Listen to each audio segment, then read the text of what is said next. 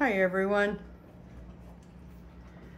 It's just dawned on me I could do a video now.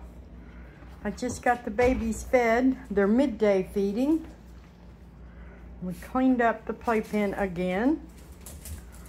And they are bouncing all over the place, just playing and having a good time. I gave them all their vaccine, their six week vaccine this morning, and they took them like a champ. Everybody did great, and they're doing great. And uh, we're working on a new round of the uh, worm medicine. This one will be for a three day, uh, three day treatment. It's just for precautions to flush their systems of any potential uh, chance of parasites. So we use fenbendazole and uh, they'll take it for three days, the next three days, and then they're pretty much done until next week when they're seven weeks old. They'll get a uh, dose of heartworm, the uh, Advantage One heartworm medication. And it's a topical that goes on the back of the neck. And I like it because I can give it to seven week old puppies. And that just helps to make sure there's no parasites, gets them already started on their heartworm uh, program, prevention program before they leave me. So it's easy for uh, new families to just uh, continue follow up the next the next time it's due every month. I use it on all my adults and I give it to my babies at seven weeks old and we have good results with it. We don't have any kind of worms or heartworms, and um, I don't have any problem with ticks or fleas. The vet told me that Advantage One, Advantage Multi, it's it claims to take care of everything, including ticks and fleas. But the vet said it works great on the internal parasites, but not so great on the external. But like I said, I still have no issue with fleas or ticks, which I rarely had any issue. Uh, once in a great, great while, every few years, my husband might pick up a tick. And once, it's been, it's been several years since I've seen a flea on any of my dogs. And I haven't seen any signs of that since I started using the Advantage Multi either. So, so I guess it just depends on location and what you're dealing with and if they've built up some kind of a, resistance. I don't know. But for us, Advantage Multi is working great. And puppies are making a mess. And I can't get a wipe out very easy.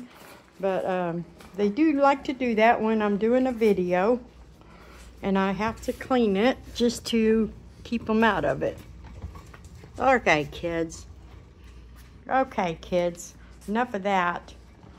Yeah, you need to settle down there, Mr. Arrow. Oh, Mr. Desi. Who else is here? Denny and Devin. That's Devin. Denny laying right here and Danny. And then Bo. Who's that? That looks like Reagan, the solid black and white. Reba, my little keeper.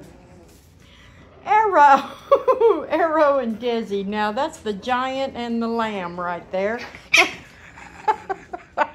Desi's the smallest one in our three litters and Arrow's the largest one. Arrow's coming in at five pounds and Desi is, he's just under two, no, he's actually almost two and a half pounds, that's right. So uh, the rest of them are in between those two sizes. But Arrow is our biggest one so far. And Denny is getting right there with him, and Devin, Denny and Devin, and then Danny. And everybody else is quite a bit smaller. Even Bo is a bit smaller than Denny, Danny, and Devin. They're all just a little bit on the bigger side, but the others will will catch up and the bigger ones will slow down. They all go through growth spurts at, at different stages. So sorry, I don't like cleaning up their potty during a video, but at this point, they are pottying constantly. So anytime I got the camera, somebody's going to be pottying. There's um, Ryan.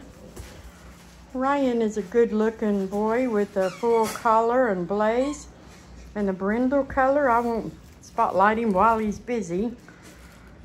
But I still have nine boys available and I really would like to see them start getting adopted. Um, several have been taken, but we have, that is, who are you? Reagan and Patch are the two pretty much solid black and white standard markings. Patch has a little white spot. And then I have Ryan and we have Radar and Ry we do have Riley, but Riley is more black and white and he's down under here. Riley has a Haggerty dot, but he's more black and white. That's Daisy Deuce. Look at you, cutie bug. Oh, and you little cutie bug. Oh my goodness. Yes, you're a cutie bug, Desi. Where's that Maggie girl? Maggie's right down in here. Whoops, I'm so sorry, Ryan. I'm so sorry. I toppled you over. There's our Maggie girl. And Luna. And we got Radar. Where's Petey? Petey, you're right here. Hi, kid. Say hi to your dad.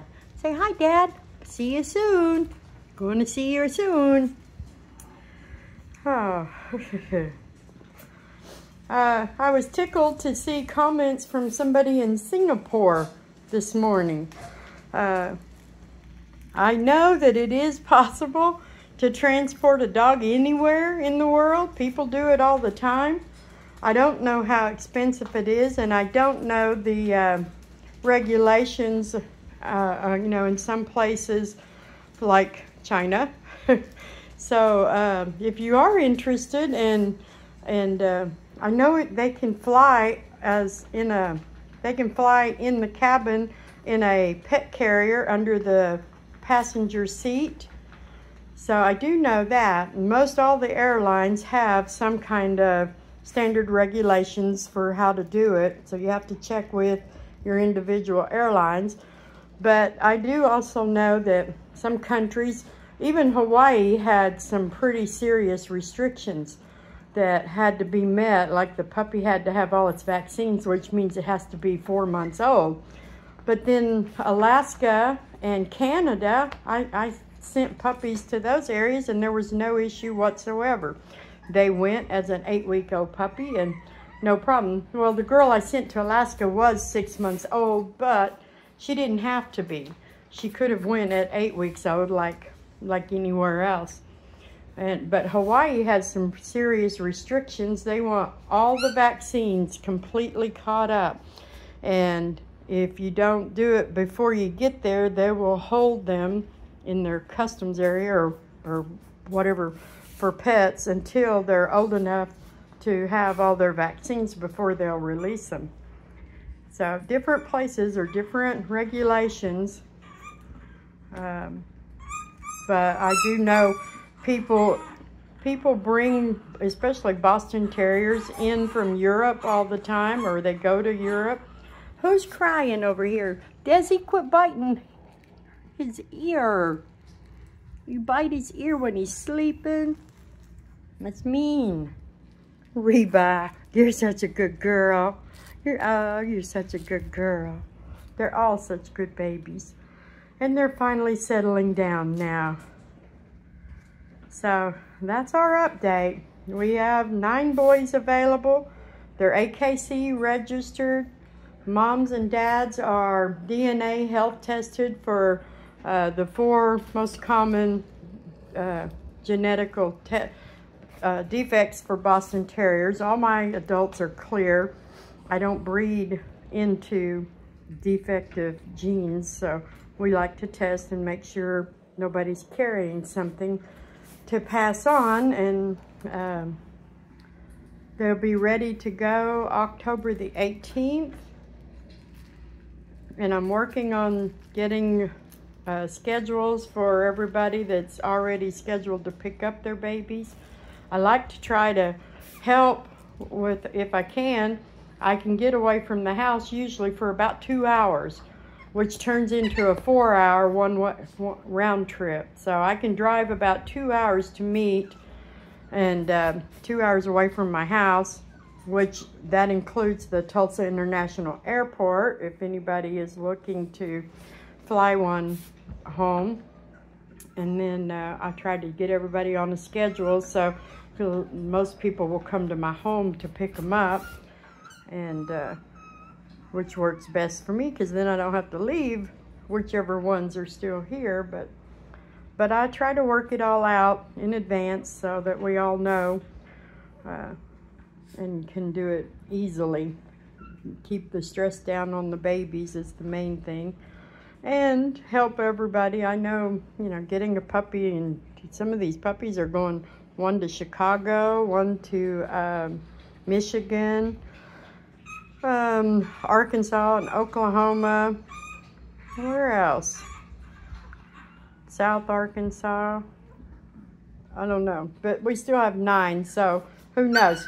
By the end of this, these litters, we'll have puppies all over the United States.